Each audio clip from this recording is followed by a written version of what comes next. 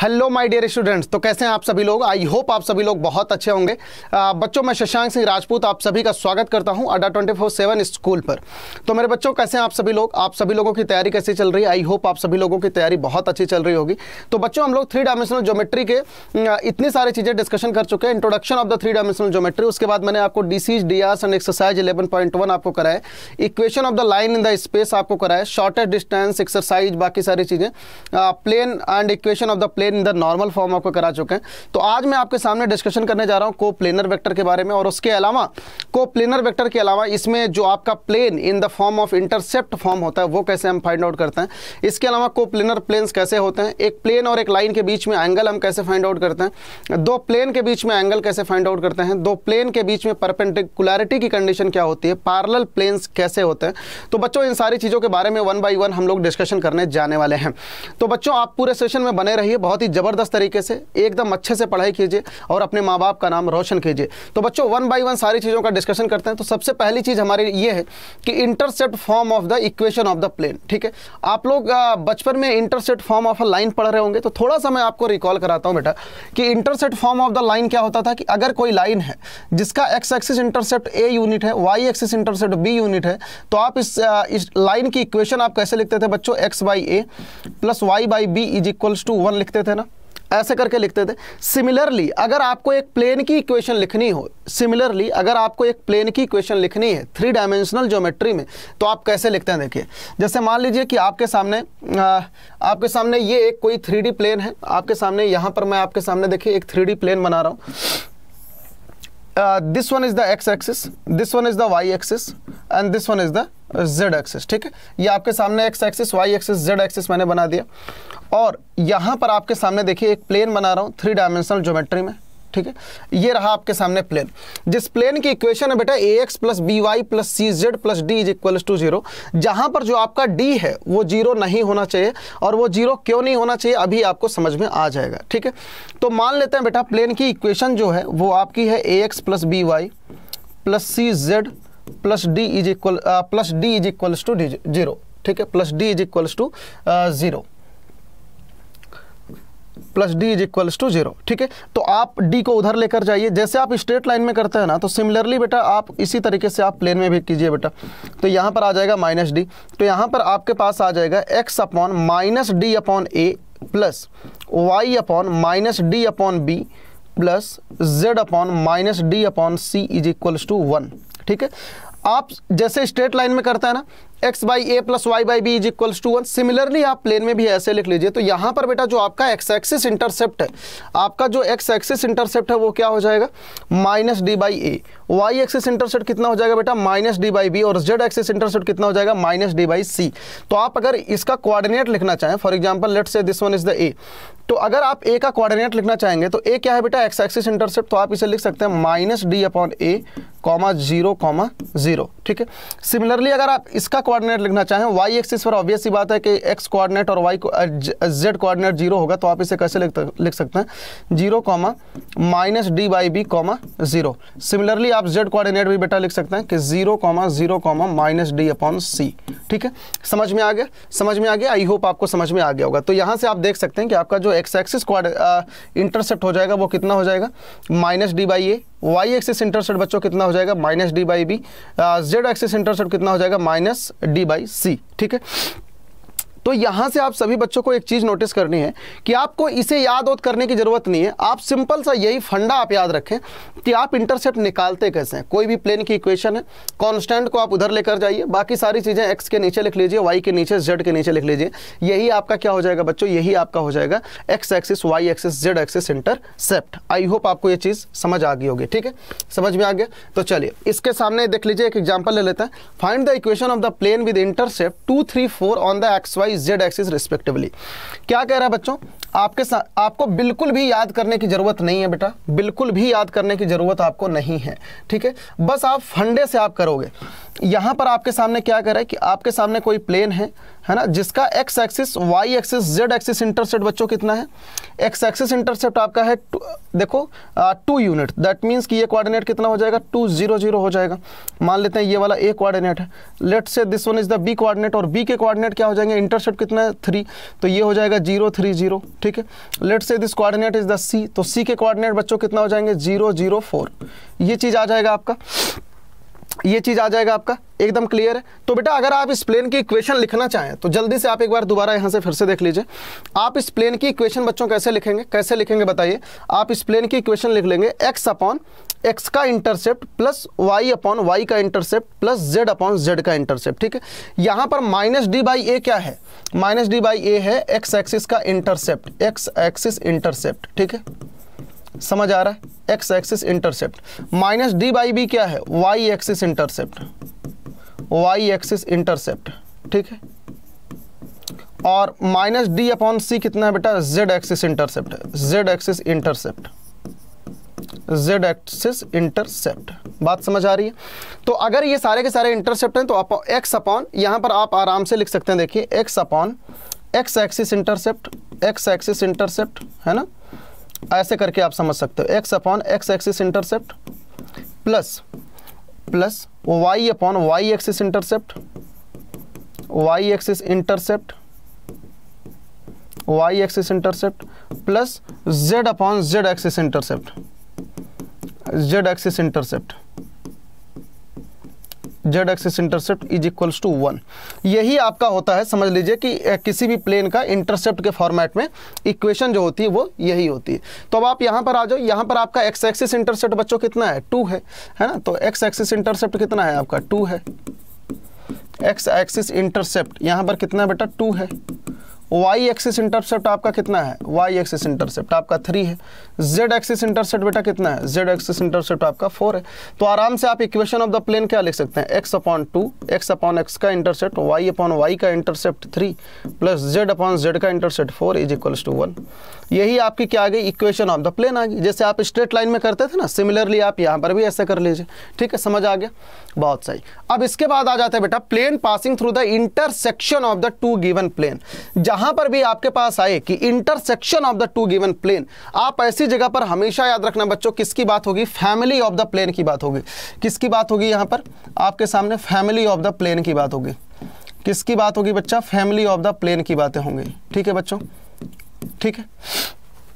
अगर कहीं पर भी आपके सामने plane passing through the intersection of two given plane तो यहाँ पर किसकी बातें होंगी? फैमिली ऑफ़ द प्लेन की बातें होंगी। तो जल्दी से यहाँ पर आप देख लो। कहने का मतलब ये होगा कि जैसे मान लो आपके पास यहाँ पर एक कोई प्लेन है और यहाँ पर आपके पास कोई एक प्लेन और है बेटा। ठीक है? आपके पास यहाँ पर देखो कोई प्लेन है ए, और एक प्लेन ये रहा। तो इनका जो लाइन इनका जो इंटरसेक्शन वाला होगा प्लेन तो कहीं इस टाइप का इंटरसेक्शन वाला प्लेन होगा। मान लेते हैं ये वाला जो प्लेन है इन दोनों प्लेन के बीच का इंटरसेक्शन वाला प्लेन है। समझ में आ रहा है? एक प्लेन ये रहा एक प्लेन ये रहा। जैसे आपकी कॉपी होती है है ना? तो आपकी कॉपी ऐसे मोड़ो। समझ लो, एक प्लेन ये हो गया, दूसरा प्लेन ये हो गया। तो इनके इंटरसेक्शन वाला प्लेन कैसा होगा? कुछ इस तरीके का होगा। तो इसकी इक्वेशन आप कैसे लिखते हैं? तो एक बार जरा आप यहाँ पर ध्यान से देख लीजिए।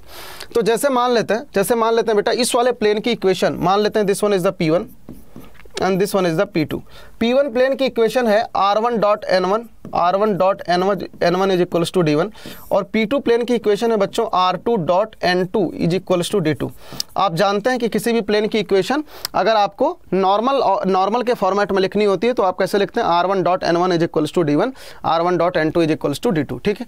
ये लिखा है। तो बच्चों, यहाँ से यहाँ से आप कैसे लिख सकते हैं? देखिए, यहाँ पर आप कैसे लिख सकते हैं? तो जो इसका, जो आपका फैमिली ऑफ़ द प्लेन होगा, जो इसका आपका फैमिली ऑफ़ द प्लेन होगा, आप फैमिली ऑफ़ द प्लेन को कैसे लिखेंगे? तो यहाँ पर आप ध्यान से देखिए बहुत आ, बहुत आसानी से आप लिख सकते हैं। R one dot n one is equals to d one है तो आप कैसे लिख सकते हैं? R one dot n one minus d one is equals to zero दूसरा वाला प्लेन अगर आप लिखना चाहें तो r two dot n two minus d two is equals to zero तो इनका फैमिली ऑफ़ द प्लेन बच्चों हम कैसे लिखेंगे? R one dot n one minus d one plus ठीक है? यहाँ पर लैमडा ले लेते हैं क्योंकि अगर आपका एक प्लेन P1 है दूसरा प्लेन P2 है तो इसका फैमिली ऑफ़ द प्लेन हम कैसे लिखते हैं? P1 plus lambda P two is equals to zero P one plus lambda P two is equals to zero ठीक है? तो ये होता है आपका फैमिली ऑफ़ द प्लेन तो ये हो गया आपका P one plus lambda times P two कितना है बच्चों? R two dot n two minus d two is equals to zero ये हो गया आपका प्लेन पी टू ये क्या हो गया बेटा? आपका प्लेन P2 ठीक है? तो यहाँ से अब आप क्या करोगे? यहाँ से आप क्या करोगे? R1 को एक साथ में ले लो R1 वाली सारी चीज़ें एक साथ में ले लो, और बाकी सारी चीज़ें कांस्टेंट वाली D1 वाली एक साथ में ले लो। तो यहाँ से जब आप एक साथ में लोगे तो आपके पास देखो, ये वाली इक्वेशन बन जाएगी। ये वाली इक्वेशन बन जाएगी, यहाँ से आप R1 को अगर कॉमन निकालोगे तो यहाँ से क्या आ जाएगा? N1 प्लस लैमडा एन आ जाएगा is equal to is equals to d plus lambda times of the d two आ जाएगा, ठीक है? तो यही होती है बच्चों आपकी फैमिली ऑफ़ द प्लेन की इक्वेशन, यही होती है उस प्लेन की इक्वेशन जो दो प्लेन के इंटरसेक्शन से पास होगा। उसकी, उस प्लेन की इक्वेशन क्या होती है बच्चों? R one dot n one plus lambda n two is equals to d one plus lambda d two ये होता है, ठीक है? बात समझ में आ गई? बात समझ में आ गई? जल्दी से मुझे बता दो। तो इस चीज़ को सारे बच्चे अपनी कॉपी में बच्चों नोट डाउन कर लो। यही चीज़ यहाँ पर देखो आपके सामने लिख रखी है यहाँ पर। तो सारे बच्चे आराम से अपनी कॉपी में इस चीज़ को नोट डाउन कर लेना, ठीक है? आराम से आई होप आप सभी बच्चों को समझ में आ गया होगा कि आपके पास दो प्लेन है पी वन पी टू इन दोनों का इंटरसेक्शन वाला प्लेन अगर आपको फाइंड आउट करना होता है तो सिंपल सी इक्वेशन होती है P one plus lambda P two is equals to zero दोनों प्लेन की आप इक्वेशन लिख लो और उसके बाद आ, पहला प्लेन लिखो plus lambda times of the plane second वाला इज़ इक्वल्स टू ज़ीरो कर दो तो आपके पास फैमिली ऑफ़ द प्लेन की इक्वेशन आ जाती है। समझ आ गया बेटा? बता दो कोई दिक्कत अभी तक? आई होप नहीं होगी। तो इसी इसी चीज़ को बच्चों अगर हम कार्टिशन फॉर्मेट में लिखें तो हम कैसे लिख सकते हैं? इसी चीज़ को अगर बच्चों हम कार्टिशन फॉर्मेट में लिखें तो देखो सिंपल सा तरीका है, सिंपल सा तरीका है अगर आप कार्टिशन फॉर्मेट में लिखेंगे। जैसे मान लीजिए कि यहाँ पर आपके पास एक प्लेन है, प्लेन पी वन ठीक है? और यहाँ पर आपके पास एक प्लेन है, जिसकी इक्वेशन है, प्लेन मान लेते हैं this let's say this is plane P two और इसका जो इंटरसेक्शन वाला प्लेन है, आपका ये वाला है, ठीक है? अगर बच्चों प्लेन P1 की कार्टिशन फॉर्मेट में मैं डायरेक्ट लिख रहा हूँ आपकी इक्वेशन अगर कार्टिशन फॉर्मेट में, अगर इसकी इक्वेशन है आपकी a one x plus b one y plus c one z plus d one is equals to zero और इस वाले प्लेन की कार्टिशन फॉर्मेट में अगर आपको इक्वेशन गिवन हो a two x plus b two y plus c two z plus d two is equals to zero ठीक है? अगर आपको ये वाला प्लेन गिवन हो, इस तरीके से कार्टिशन के फॉर्मेट में, ये वाला भी कार्टिशन के फॉर्मेट में गिवन हो तो आप इसका फैमिली ऑफ़ द प्लेन की इक्वेशन आप कैसे लिखोगे? हमेशा हमेशा याद रखना फैमिली ऑफ़ द प्लेन की इक्वेशन क्या होगी? P one plus lambda P two is equal to zero हमेशा family of the line family of the plane family of किसी भी चीज़ का, पहला वाला plane plus lambda times of the दूसरा वाला plane is equal to zero तो बस सिंपल सा काम आप ये करो पी वन की जगह पर इसको रख दो plus lambda times of the P two इसको रख दो तो आपके पास देखो ये वाली चीज़ आ जाएगी। आपके पास बच्चों ये वाली इक्वेशन आ जाएगी ठीक है? ये वाली इक्वेशन आ जाएगी मैं आपको करके दिखा देता हूँ। P one plus lambda P two is equals to zero तो आपका पी वन कितना है बच्चों? A one X plus B one Y plus C one Z ठीक है? प्लस सी वन जेड यहाँ पर हमने देखो यहाँ पर हमने प्लस डी वन ले लिया इन्होंने माइनस डी वन ले लिया क्योंकि इन्होंने जो प्लेन की इक्वेशन है is equal to D D two के फॉर्मेट में ले, ले रखी है है ना? इज़ इक्वल्स टू इसके फॉर्मेट में ले रखी है तो मैं एग्जैक्टली exactly आपका इसी के फॉर्मेट में ही ले लेता हूँ। यहाँ पर यहाँ पर इन्होंने इस, यहाँ पर इन्होंने जो इक्वेशन लिखी है, वो इस टाइप की लिखी है is equals to D one is equals to D two ठीक है? तो अगर बच्चों आप इसको पी वन के फॉर्मेट में लिखेंगे तो A one X plus B one Y plus C one Z minus D one ठीक है? Plus lambda times of the P two की इक्वेशन लिख लो, आप A two X plus B two Y plus C two Z minus D two is equal to zero. ठीक है? यही आपकी देखो यहाँ पर फैमिली ऑफ़ द प्लेन की इक्वेशन डायरेक्टली लिखी रखी है। ठीक है? तो हमेशा याद रखना, अगर आपके पास दो प्लेन की equation in form of Cartesian लिखी है तो आप कैसे फैमिली ऑफ़ द प्लेन की इक्वेशन लिखोगे? पहला plane plus lambda times of the दूसरा प्लेन बस एकदम सिंपल सा फंडा आप यही याद रखना। ये सारी चीज़ें आपकी बुकिश लैंग्वेज है है ना? ये सारी चीज़ें आपकी बुकिश लैंग्वेज है जो आपकी एनसीईआरटी में गिवन है कि एन प्लेन ये है एन प्लेन ये एन वन वेक्टर ये है एन टू वेक्टर ये है आर वेक्टर ये है तो आप दोनों प्लेन की इक्वेशन लिखेंगे तो कुछ इस तरीके से आ जाएगी। फिर जब उसे थोड़ा सा सिंप्लीफाई करेंगे तो ये आ जाएगा। मैंने आपको सिंपल तरीके से, मैंने आपको सिंपल तरीके से दो प्लेन अगर कार्टिशन के फॉर्मेट में लिखे, मैंने ये दोनों प्लेनों को ही कार्टिशन के फॉर्मेट में लिख दिया तो ये सारी चीज़ें आपको करने की ज़रूरत ही नहीं है। अगर आपने डायरेक्ट कार्टिशन के फॉर्मेट में लिख दिया है तो। बस सिंपल सा याद रखना, कभी भी अगर आपको family of the plane apply करना है तो सिंपल सा याद रखना कि P one plus lambda P two is equals to zero ठीक है? चलो, सबसे पहला सवाल कर लेते हैं बच्चों। Find the vector equation of the plane passing through the intersection of the plane this one and this one ठीक है? And the and the point तो हमेशा देखो, यहाँ पर आपके पास प्लेन की इक्वेशन क्या लिखी है बच्चों? R dot I vector plus J vector plus K vector is equals to six दूसरा क्या लिखा है बच्चों? R two two I vector plus three J vector plus four K vector is equals to minus five ये चीज़ लिख रखा है, ठीक है? तो अगर अगर मैं इसी चीज़ को बच्चों आपको पी वन कह दूँ P one and this one is the P two तो फैमिली ऑफ़ द प्लेन बेटा कितना हो जाएगा आपका? P one plus lambda P two is equal to zero हमेशा सबसे बेसिक सबसे ओरिजिनल फंडा आप यही याद रखना। तो आप पी वन यहाँ पर लिख लो। पी वन आप कैसे लिखोगे? सब कुछ एक साइड ला के तो R one I vector plus J vector plus K vector minus six ठीक है? ये आपका हो गया P one plus lambda times P two कैसे लिखोगे? सब कुछ एक साइड ला के R two dot two I vector plus three J plus four K vector plus five is equal to zero ये हो गया देखो आपका फैमिली ऑफ़ द प्लेन की इक्वेशन बस आप सिंपल से काम क्या करोगे? यहाँ से आर वन वाला एक साथ में ले लो और बाकी सारी चीज़ें आप एक साथ में ले लो। तो यहाँ से बेटा क्या हो जाएगा? देखो यहाँ से अच्छा ये आपका R1 है सॉरी ये आपका दोनों ही R होगा यहाँ पर R1 R2 तो हो, हो ही नहीं सकता क्योंकि ये तो जनरल पॉइंट्स हैं। तो बच्चा ये जो है ये R1 R2 नहीं होंगे है ना? ये दोनों ही R होंगे आपके क्योंकि ये तो जनरल पॉइंट है जनरल कोऑर्डिनेट है ना? तो जनरल कोऑर्डिनेट तो हमेशा एक्स वाई जेड ही होगा। तो यहाँ से क्या करो आप आर वाला सारी चीज़ें एक साथ में ले लो आर डॉट यहाँ से कितना हो जाएगा बच्चा? I cap plus J cap plus K cap ठीक है?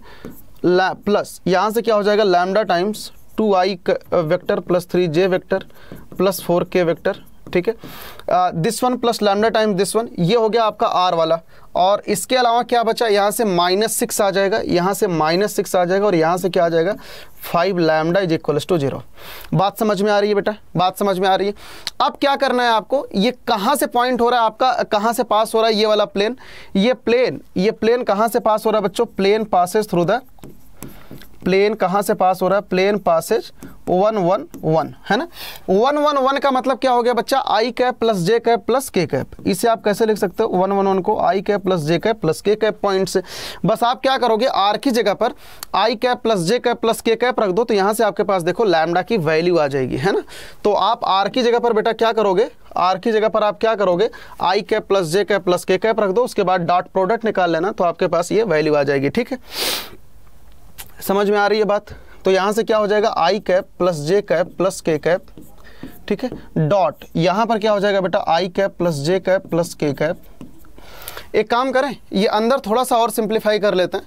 अंदर थोड़ा सा और सिंप्लीफाई कर लेते हैं तो थोड़ी सी कैलकुलेशन जो है, हल्का सा शॉर्ट हो जाएगा, है ना? तो यहाँ पर बच्चों आई कैप का सब कुछ एक साथ में लिख लेते हैं जे वाला सब कुछ एक साथ में लिख लेते हैं। तो यहाँ पर आप देखो कैसे लिखोगे। आई कैप यहाँ पर क्या हो जाएगा? One plus two lam, one plus two lambda plus J cap यहाँ से कितना आ जाएगा? One plus three lambda. Plus K cap यहाँ से कितना आ जाएगा बेटा? One plus four lambda. ठीक है? और यहाँ से आ जाएगा minus six plus five lambda is equal to zero. बात समझ आ रही है? तो बस अब इसके साथ में आप डॉट प्रोडक्ट ले लो तो आपका काम हो जाएगा। यहाँ पर देखो, ये डॉट आई तो आई वाला कॉफिशियंट को एक साथ मल्टीप्लाई करोगे तो यहाँ पर कितना आ जाएगा? One plus two lambda. यहाँ पर कितना आ जाएगा बेटा? One plus three lambda. यहाँ पर कितना आ जाएगा? One plus four lambda. Minus six plus five lambda is equal to zero.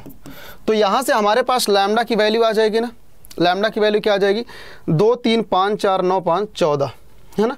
Fourteen lambda fourteen lambda. और यहाँ से बेटा कितना आ जाएगा? One one, two one, three. और, one one, two, one, three. और सिक्स में से थ्री सब्ट्रैक्ट करोगे तो कितना आ जाएगा? Minus three is equals to zero. तो लैमडा इक्वल टू कितना आ गया बच्चों? Three by fourteen. कैलकुलेशन ज़रूर क्रॉस चेक कर लेना बेटा। लैमडा की वैल्यू कितनी आ गई? थ्री बाई फोर्टीन तो बस अब आप सिंपल सा काम क्या करोगे बेटा? बस इसी वाली इक्वेशन में लैमडा की आप वैल्यू डाल दो। है ना? आपके सामने देखो फैमिली ऑफ़ द प्लेन की इक्वेशन ये वाली है ना? बस आप सिंपल सा काम क्या करो? इसी इक्वेशन में आप क्या करोगे बेटा? Lambda is equals to lambda is equal to three by fourteen value डाल दो। है ना? Lambda is equal to three by fourteen value डाल दो तो यहाँ पर आपका थ्री बाई फोर्टीन हो जाएगा, यहाँ पर भी थ्री बाई फोर्टीन हो जाएगा। तो थोड़ा सा एक आधा लाइन और लिख के सिंप्लीफाइड कर लेना तो वही आपका फाइनल आंसर आ जाएगा। ठीक है? समझ आ गया बच्चों? समझ आ गया? जल्दी से मुझे बता दो। As everything is clear I hope समझ में आ गया होगा। चलें आगे। Coplanarity of the two lines दो लाइनें बच्चों कोप्लेनर कब होती हैं? देखो, यहाँ पर जैसे मान लो कि आपके पास एक प्लेन है, आपके पास एक प्लेन है, ठीक है? अब इसी पर दो लाइन है, इसी पर हम कह रहे हैं कि भैया दो लाइन है। आपके पास एक कोई प्लेन है, इसी पर आपके सामने दो लाइन है, जिस पर पहले लाइन की इक्वेशन आपके सामने देखो लिख रखी है R vector is equals to A one vector plus lambda times of the B one vector और दूसरे लाइन की इक्वेशन है बच्चों R vector is equals to A two vector plus lambda times of the B two vector ठीक है? ये आपके सामने देखो दो, आपके सामने दो लाइन है जो कि एक प्लेन में है। तो इनकी कंडीशन क्या होगी? इनकी कंडीशन क्या होगी? बच्चा, आप आराम से समझ सकते हो। अगर ये वाली line A one plus lambda B one है तो ये कोऑर्डिनेट कितना हो जाएगा? ए वन हो जाएगा। ये वाली लाइन का ए टू कहाँ पर होगा? यहाँ पर कहीं पर होगा, ठीक है? अब आप ए वन और ए टू को ज्वाइन कर दो। अब आप ए वन और ए टू को ज्वाइन कर दो तो कौन सा वेक्टर बन जाएगा यहाँ से? A two minus A one vector या A one minus A two vector हो जाएगा, ठीक है?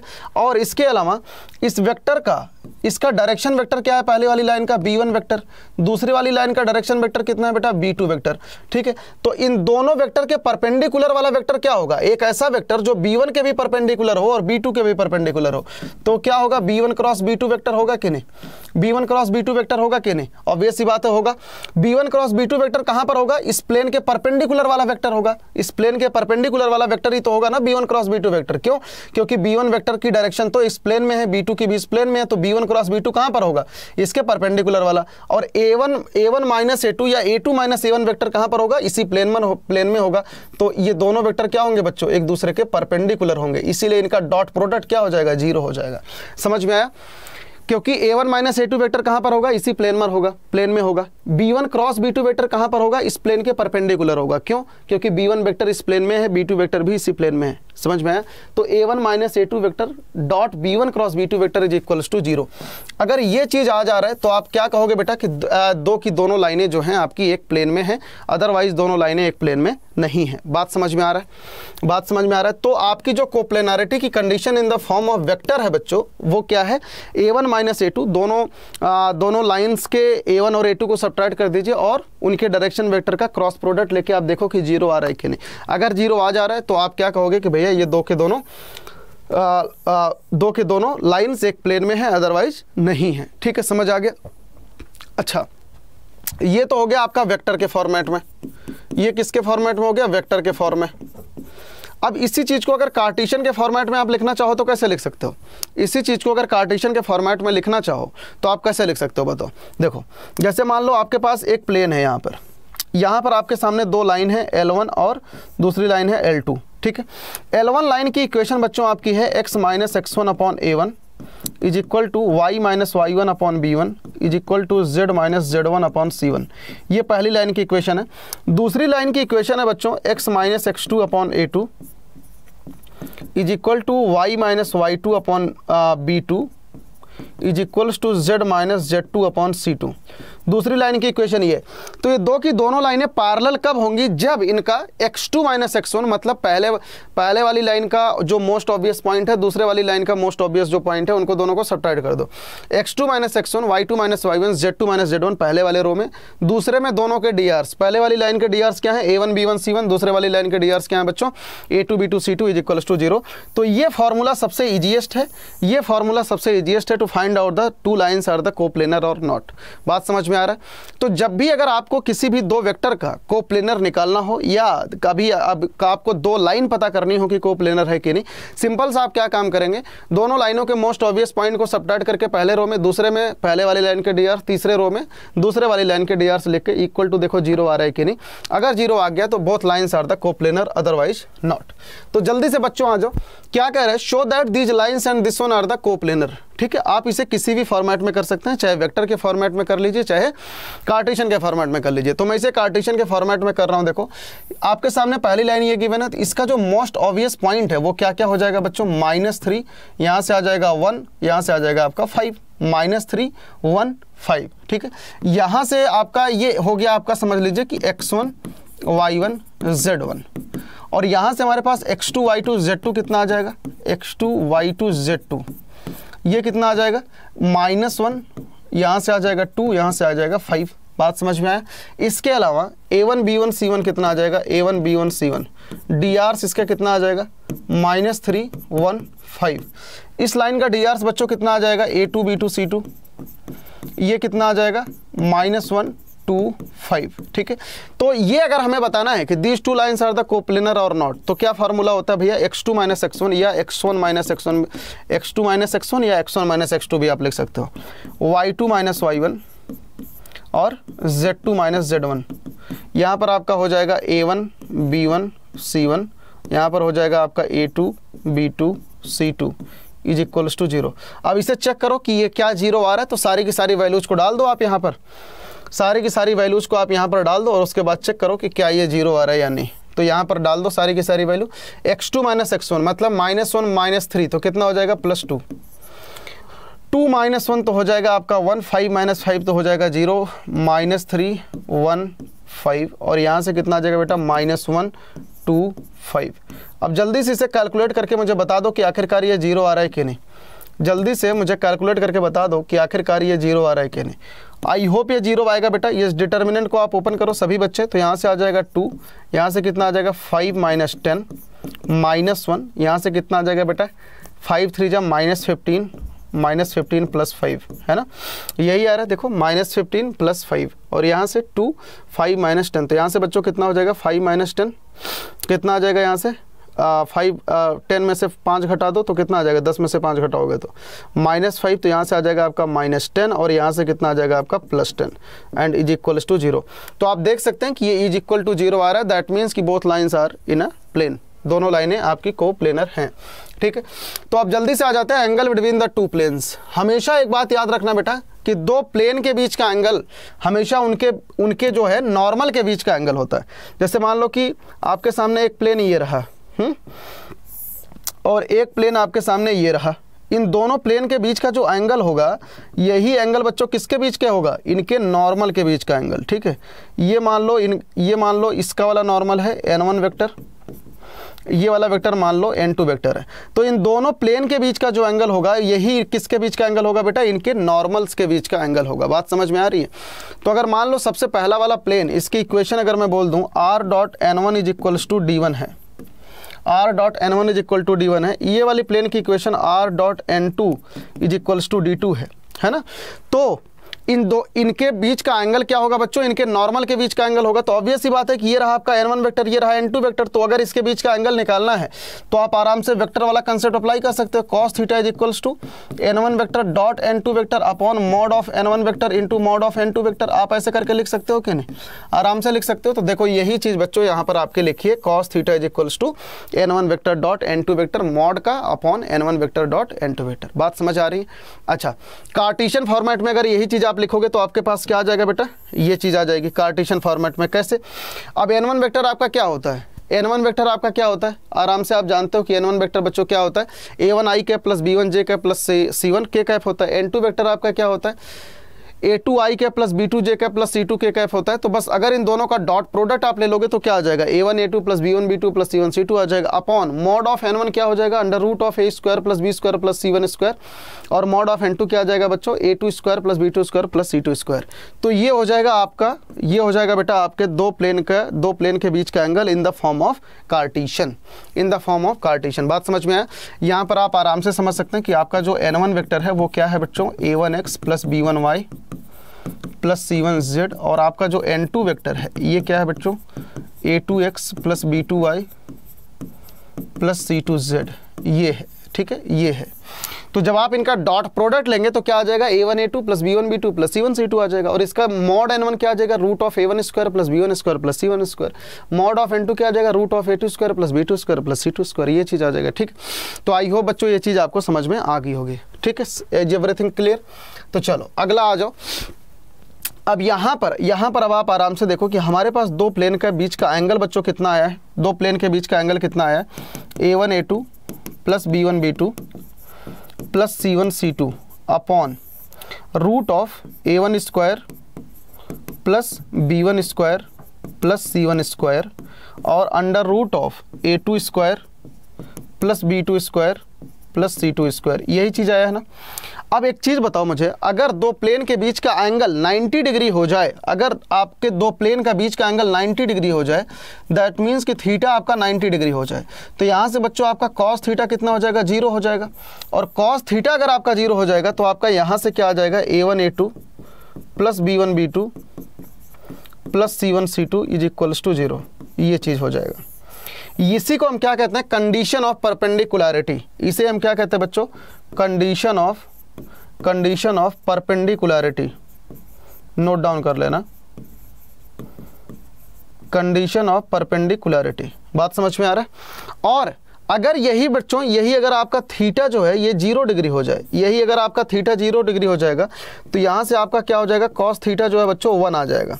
और अगर कॉस थीटा आपका वन हो जाएगा तो आप जैसे ही आप इसे सिंप्लीफाई करेंगे तो आपके पास क्या निकल के आएगा कि आपका जो ए दोनों डी का रेशियो है A one upon A two is equals to B one upon B two is equal to C one upon C two ये तीनों क्या होंगे बेटा? बराबर होंगे, ठीक है? तो यही यहाँ पर देखो लिख रखा है if planes are at right angle then theta is equals to 90 degree cos theta zero हो जाएगा तो यहाँ से आपकी जो कंडीशन आ जाएगी, वो ये आ जाएगी। A one A two plus B one B two plus C one C two is equal is equal to zero अगर दो लाइन बच्चों पैरेलल हैं तो यहाँ पर हमारे सामने कंडीशन क्या आ जाएगी? इनके जो डी का रेशियो है, वो क्या हो जाएगा? इक्वल हो जाएगा। दैट मीन्स कि A one upon A two is equal to B one upon B two is equals to C one upon C two is everything is clear ठीक है? सब कुछ सही है बच्चों? तो जल्दी से आ जाओ इस वाले सवाल पर। Find the angle between the two planes आपके सामने देखिए, यहाँ पर एंगल है। दो प्लेन गिवन है बच्चों। क्या कह रहा है? And and using vector method है ना? तो यहाँ से क्या कह रहा है बेटा? देखो, पहला प्लेन क्या है? Two X plus Y minus two Z is equal to five, ठीक है? दूसरा प्लेन बच्चों क्या है? Three X minus six Y minus two Z is equals to seven. ये दो प्लेन है ना? तो ये पहले वाले प्लेन का जो एन वन वैक्टर है, एन वन वैक्टर, नॉर्मल का वैक्टर, वो कैसे लिखते हो आप? इनके जो एक्स वाई जेड का कॉफिशियंट है उसी को लिख देते हो। तो यहाँ से क्या आ जाएगा? Two I cap plus J cap यहाँ से क्या आ जाएगा? माइनस टू के कैप, ठीक है? यहाँ से आप एन टू वैक्टर बच्चों कितना लिखते हो? एन टू वैक्टर कैसे लिखते हो? कॉफिशियंट का। Three I cap minus six J cap और यहाँ से माइनस टू के कैप अब वेक्टर मेथड से निकालना है तो आप आराम से इनके बीच का एंगल निकाल सकते हो। Cos theta is equals to N one dot N two upon mod of N one dot mod of dot नहीं मल्टीप्लाई ठीक है? बात बराबर है। तो N one dot N two बच्चों कितना हो जाएगा यहाँ से? Two into three plus one into minus six और यहाँ से plus minus two into minus two upon. Under root of पहले वाले वेक्टर का मॉड तो ये हो जाएगा four plus one plus four और दूसरे वाले वेक्टर का मॉड कितना हो जाएगा? थ्री थ्री जा nine plus thirty six plus four. ठीक है? तो यहाँ से हमारे पास देखो बेटा, सिंप्लीफाई करो तो ऊपर क्या हो जाएगा? देखो, थ्री, टू जा सिक्स। तो यहाँ पे सिक्स से सिक्स कैंसिल हो जाएगा। यहाँ पर कितना आ जाएगा? टू टू जा प्लस फोर आ जाएगा upon. Under root of nine और यहाँ पर कितना आ जाएगा? यहाँ पर कितना आ जाएगा बेटा? रूट ऑफ़ फोर्टी नाइन है ना? तो यहाँ से हमारे पास अल्टीमेटली आ गया four upon three into seven तो ये आ गया फोर अपॉन ट्वेंटी वन ठीक है? क्या आ गया बेटा? फोर अपॉन ट्वेंटी वन देख लो, सभी बच्चे आराम से, कोई दिक्कत है तो यू कैन टेल मी ठीक है? सब कुछ सही है? चलो। जल्दी से आ जाते हैं अगले क्वेश्चन पर find the angle between the two plane this one and this one क्या क्या प्लेन लिख रखा है बच्चों? किसी भी मेथड से अप्लाई कर दीजिए। Minus six y plus two z is equals to seven दूसरा वाला प्लेन क्या लिख रखा है भैया? Two x plus two y minus two z is equals to five. दो प्लेन हैं और इनके बीच का, इनके बीच का आपको क्या बताना है बच्चों? एंगल बताना है। Find the angle between the two planes ठीक है? तो बच्चों, आप आराम से पहले वाला मेथड लगा सकते हैं, दूसरा वाला मेथड भी लगा सकते हैं। इसका जो डीआर से, इस बार मैं आपको डी के फॉर्मेट में बता रहा हूँ। A one at a one b है ना? इस बार मैं आपको कार्टेशन के फॉर्मेट से बता रहा हूँ, इस, इसी सवाल को। तो कैसे कर सकते हो? देखो a one b one c one a one b one c one बच्चों, कितना है इसका? थ्री माइनस सिक्स और टू यहाँ से आपका a two b two c two कितना है? A two b two c two ये कितना है आपका? Two two minus two two two minus two ठीक है? तो यहाँ से आपका जो कॉस थीटा है बेटा कॉस थीटा कितना होता है आपका? A one a two plus b one b two plus c one c two तो कितना आ जाएगा? थ्री टू जो six minus six into two twelve minus four upon under root of a one square plus b one square plus c one square कितना आ जाएगा? Nine plus thirty six, plus four, और ये कितना आ जाएगा? Two square plus two square plus two square तो क्या हो जाएगा? Four plus four plus four, ठीक है? तो यहाँ से हमारे पास अल्टीमेटली कितना आ जाएगा बेटा? माइनस का टेन ऊपर से, और नीचे कितना आ जाएगा? यहाँ से तो सेवन आ जाएगा, और यहाँ से कितना आ जाएगा? टू रूट टू, ट्वेल्व, है ना? तो ये कितना आ जाएगा? टू रूट टू, यही आएगा? नहीं, टू रूट थ्री आएगा, है ना? फोर फोर, एट ठीक है टू रूट थ्री आएगा। तो यहाँ से हमारे पास ये कितना आ जाएगा बेटा? टू फाइव जाए दिस वन तो यहाँ से हमारे पास कॉस थीटा कितना आ गया? Minus five upon seven root three ठीक है? Minus five upon seven root three ये आ गया दोनों प्लेन के बीच का एंगल कोई दिक्कत है? You can write in the comment section ठीक है? Distance of a point from a given plane बेटा। ये भी बड़ा इंपॉर्टेंट फॉर्मूला है distance of a point from a given plane तो बस आप सिंपल सा ये वाला फॉर्मूला आप याद रखें, ये वाला फॉर्मूला ठीक है? जैसे मान लो कि आपके पास यहाँ पर एक प्लेन है, और आपके पास यहाँ पर कोई पॉइंट मौजूद है, जो कि पॉइंट है आपका x one y one z one ठीक है? और इस प्लेन की इक्वेशन है बच्चों आपकी a x plus b y plus c z is equals to d ये आपके इस प्लेन की इक्वेशन है। आपको इस प्लेन से इसका परपेंडिकुलर डिस्टेंस बताना है। इस प्लेन से आपको परपेंडिकुलर डिस्टेंस बताना है। तो आप कैसे बताते हैं? जैसे आप स्ट्रेट लाइन में लिखते हो ना, जैसे आप स्ट्रेट लाइन में लिखते हो, है ना? इसको कैपिटल डी कर देता हूँ। जैसे आप स्ट्रेट लाइन में लिखते हो ना सेम उसी तरीके से। कैसे लिखते हो? सबसे पहला काम, सारे कॉफिशियंट्स को आप इधर लेके आ जाते हो तो कैसे लिखते हो आप इसी प्लेन की इक्वेशन को? A x plus b y plus c z minus d is equals to zero ठीक? अब इसके बीच का डिस्टेंस बताने के लिए आप क्या करोगे बेटा? एक्स की जगह पर एक्स वन वाई की जगह पर वाई वन जेड की जगह पर Z one minus mod D upon इनके कॉफिशेंट का स्क्वायर तो ये फॉर्मूला आप डायरेक्ट याद रखना, है ना? मॉड ऑफ़ मॉड बाहर लगाना, क्योंकि डिस्टेंस तो कभी नेगेटिव हो नहीं सकती। तो ए एक्स वन एक्स की जगह पर देखो x one plus b y one plus c z one minus का डी अपॉन रूट ऑफ़ जो भी आपका एक्स का कॉफिशेंट होगा इसका स्क्वायर जो भी वाई का होगा प्लस उसका स्क्वायर जो भी जेड का होगा प्लस उसका स्क्वायर ठीक है? ये हो जाएगा आपका distance formula in the Cartesian format और वेक्टर के फॉर्मेट में लिखने उखने की कोई ज़रूरत नहीं है। आराम से आप सिंपल सा यही फॉर्मूला आप यूज़ करना बेटा। यही फॉर्मूला जेई तक यूज़ करते हैं तो यही फॉर्मूला आप यूज़ करना, ठीक है? तो जल्दी से आ जाओ find the distance of a point this one from the plane this one ठीक है? अब देखो क्या कह रहा है। आपके सामने एक प्लेन लिख रखा है, ये प्लेन जो है आपका, ये प्लेन जो है, देखो आप वेक्टर के फॉर्मेट में लिखा है तो हम इसे कार्टिशियन फॉर्मेट में कर लेते हैं। तो आर वेक्टर क्या होता है? X i cap plus y j cap plus z k cap यही तो होता है। और यहाँ पर six i cap minus three j cap plus two k cap is equal to four दोनों का डॉट प्रोडक्ट ले लेंगे, क्या आ जाएगा? Six x minus three y plus two z is equals to four यही आ गया आपका इक्वेशन ऑफ़ द प्लेन अब कंडीशन क्या है? ये रहा आपके सामने एक प्लेन है ना? और यहाँ से आपको डिस्टेंस बतानी है बेटा, कहाँ से? टू फाइव माइनस थ्री से। इसकी इस प्लेन की डिस्टेंस बतानी है तो कैसे बताओगे बताओ? तो d is equals to mod बाहर लगाओ सिक्स इंटू एक्स वाला पॉइंट लिखो टू है ना माइनस थ्री इंटू वाई वाला पॉइंट लिखो five plus two into z वाला कोऑर्डिनेट लिखो माइनस थ्री और फोर इधर लेकर आ जाओगे तो ये आ जाएगा minus four upon under root of x का कॉफिशन कितना है? सिक्स सिक्स स्क्वायर कितना हो जाएगा? थर्टी सिक्स प्लस वाई का कॉफिशन कितना है? थ्री थ्री स्क्वायर कितना हो जाएगा? नाइन प्लस टू स्क्वायर कितना हो जाएगा? फोर ठीक है? तो यहाँ से बच्चों हमारे पास डिस्टेंस कितना आ गया? Mod of twelve minus fifteen कितना हो जाएगा देखो twelve minus fifteen minus six minus four upon नीचे आ जाएगा सेवन ये हो जाएगा रूट फोर्टी नाइन तो आ जाएगा आपका सेवन ठीक है? बात समझ में आ रही है? सब कुछ सही है? बहुत सही। तो बेटा ऊपर से कितना आ जाएगा? देखो 21, 25 और यहाँ से कितना आ जाएगा आपका? 13 माइनस थर्टीन आ जाएगा। ट्वेंटी वन माइनस फोर तो 25, 25 में से आप 12 घटा दोगे तो कितना आ जाएगा? Root of sorry minus mod thirteen upon seven तो मॉड तो हमेशा पॉजिटिव हो जाएगा तो ये इसका आंसर आ जाएगा आपका थर्टीन अपॉन सेवन ठीक है? सब बहुत आसान है ना? सबसे सबसे पहला काम हमने क्या किया? प्लेन को कार्टेशियन फॉर्मेट में कन्वर्ट कर लिया। आप बचपन से ही सीख रखे हो ये चीज़ तो है ना? और उसके बाद डी इक्वल टू क्या हो जाएगा? आराम से फार्मूला अप्लाई करके आपका डिस्टेंस आ जाएगा। ठीक है? तो जल्दी से आ जाओ angle between a line and the plane ये भी बच्चों एक बहुत ही बहुत ही आसान सा कंसेप्ट है। मान लो आपके पास ये एक प्लेन है। मान लो ये आपके पास एक प्लेन है। इस प्लेन की इक्वेशन लिख लेते हैं। A x plus b y plus c z is equals to d ठीक है? मान लिया इस प्लेन की इक्वेशन ये है, और आपके पास एक लाइन है यहाँ पर। आपके पास एक लाइन है, इस लाइन की इक्वेशन लिख लेते हैं let say x minus x one upon a is equal to y minus y one upon b is equal to z minus z one upon c ठीक है? अब आपको बताना क्या है बेटा? अब आपको बताना ये है कि इस प्लेन और लाइन के बीच का एंगल बताना है। तो आप कैसे बताओगे? थोड़ा सा सोच के देखो। ये रहा आपका प्लेन आपको ये वाला एंगल बताना है। ठीक है? लेकिन जो ये प्ले हमारे पास ये लाइन है तो इस लाइन के डी हमारे पास बच्चों कितने हैं? डी क्या क्या हो जाएगा इसका? ए बी सी हो जाएगा कि नहीं? डी आपका ए बी सी हो जाएगा ना? और इस जो प्लेन के नॉर्मल का जो डी होता है, वो ये होता है।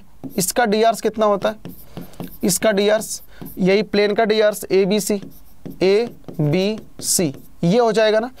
अब मुझे एक बात बताओ, अब मुझे आप सभी बच्चे एक बात बताओ कि अगर आपको ये थीटा निकालना है तो आप ये थीटा कैसे निकालोगे? ऑब्वियस सी बात है कि भैया आपके पास देखो, एक एक वेक्टर ये पता है जिसके डी आर से ए बी सी है, दूसरा वेक्टर ये है जिसके, जिसका वेक्टर ए बी सी है है ना? तो आप इसके बीच का एंगल आप आराम से निकाल सकते हैं कि नहीं?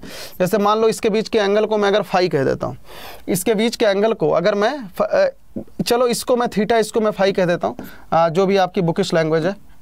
तो चलो इसको मैं कह देता हूँ this one this one is the यहाँ पर किस क्या लिख रखा है? कॉस थीटा लिख रखा है ना? तो यहाँ पर, चलो, ये वाला एंगल थीटा बोल दिया और ये वाला एंगल मैंने फाइव बोल दिया, ठीक है? अब अगर बच्चों, ये वाला एंगल थीटा है, ये नॉर्मल वेक्टर है तो ऑब्वियस सी बात है भैया कि फाइव आपका क्या हो जाएगा? नाइन्टी माइनस थीटा हो जाएगा। फाइव आपका क्या हो जाएगा? नाइन्टी माइनस थीटा हो जाएगा कि नहीं? आराम से बताओ। तो अब इन, इस वाली लाइन और इस वाली लाइन के बीच का जो एंगल आप लिखोगे तो क्या लिखोगे? क्या लिखोगे बताओ? ये ये अगर ए बी सी है तो ये वाला वेक्टर क्या हो जाएगा? आपका बी वेक्टर हो जाएगा कि नहीं? ऑब्वियस सी बात हम किसी भी लाइन के जो डायरेक्शन वेक्टर होता है, उसे बी वेक्टर से लिखते हैं। और ये वाला क्या हो जाएगा बच्चा? आपका एन वेक्टर हो जाएगा, क्योंकि ये प्लेन के नॉर्मल का वेक्टर है। है कि नहीं? तो यहाँ से जो आप कॉस थीटा लिखते हो, वो कॉस थीटा आप क्या लिखोगे बताओ? कॉस थीटा किस किस वेक्टर के बीच में? एक एन वेक्टर है और एक बी वेक्टर है तो आप आराम से जानते हो कि कॉस थीटा कैसे लिखोगे? N vector dot b vector upon mod of n mod of b यही लिखोगे? ठीक है? अच्छा मज़े की बात यह है कि आपको निकालना कौन सा है? फाइव वेक्टर फाइव एंगल निकालना है। क्यों? क्योंकि प्लेन और लाइन के बीच का एंगल क्या है? फाइव तो फाइव इक्वल टू क्या है? Cos sorry five equal to क्या है? नाइन्टी माइनस थीटा तो अगर आप थीटा की जगह पर, है ना? थीटा की जगह पर आप क्या पुट कर दो? थीटा की जगह पर अगर आप 90 माइनस फाइव पुट करोगे 90 प्लस है ना? यहाँ से थीटा की वैल्यू क्या आ जाएगी? देखो थीटा की वैल्यू क्या आ जाएगी? 90 माइनस फाइव। तो यहाँ से अगर आप थीटा की वैल्यू पुट करोगे तो 90 minus five is equal to यहाँ से कितना आ जाएगा बेटा? N vector dot b vector upon mod of n mod of b तो कॉस 90 माइनस फाइव बच्चों कितना होता है? Sine five is equal to यहाँ से कितना हो जाएगा? N vector dot b vector upon mod of n mod of b ये हो जाता है आपका, ये हो जाता है आपका दो प्लेन के बीच का एंगल। समझ में आया? समझ में आया? सॉरी दो प्लेन के बीच का एंगल नहीं, एक प्लेन और एक लाइन के बीच का एंगल ठीक है? तो सिंपल सा आप याद रखना कि जैसे आपके दो लाइन के बीच का जो एंगल होता है, वो क्या होता है? कॉस थीटा दो प्लेन के बीच का एंगल क्या होता है? कॉस थीटा अगर एक लाइन और एक प्लेन के बीच की बात होगी तो वहाँ पर हमेशा हम क्या लिखेंगे बच्चों? साइन थीटा की बात करेंगे। वहाँ पर हमेशा हम क्या बात करेंगे? साइन थीटा की, ठीक है? समझ में आया? तो यही वाला फॉर्मूला अगर हम कार्टेशियन फॉर्मेट में लिखेंगे तो हमारे पास यहाँ से देखो क्या आ जाएगा, एक लाइन और एक प्लेन के बीच का angle sine theta is equals to a a plus b b plus c c upon root of a square plus b square plus c square और root of a square plus b square plus c square ये चीज़ आ जाएगा आपका, ये चीज़ आ जाएगा आपका ये फॉर्मूला समझ में आया? Angle between a line and the plane यहाँ पर आप आराम से समझ सकते हैं एक लाइन इस वाली लाइन और इस वाले वेक्टर के बीच का ही एंगल आप निकाल सकते हैं। तो प्लेन से एंगल कितना हो जाएगा? 90 माइनस थीटा तो कॉस 90 माइनस थीटा कितना होता है? साइन थीटा होता है। समझ में? आ, तो कॉस 90 माइनस थीटा कितना होता है बेटा? साइन थीटा होता है। बात समझ आ गई? ठीक। तो चलो अब इस वाले क्वेश्चन पर आ जाओ। Find the angle between the line and the plane बहुत ही आसान से।